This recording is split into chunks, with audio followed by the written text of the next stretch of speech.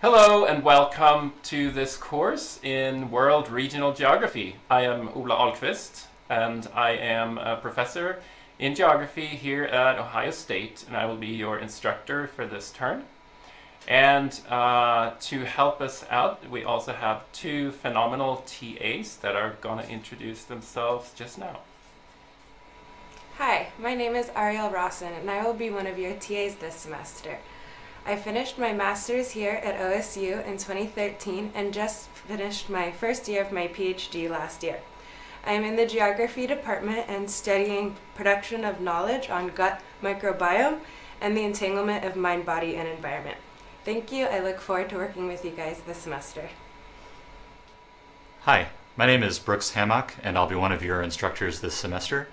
I'm a first year master's student in the Department of Geography, and I'm working on climate change and environmental regulation. Uh, I look forward to meeting all of you this semester.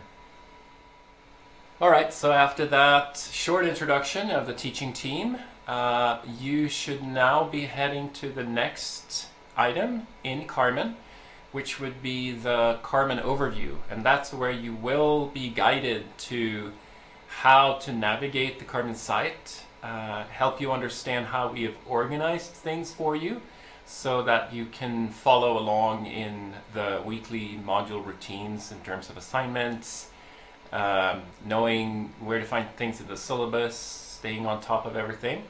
So please head to the next item called Carmen Overview.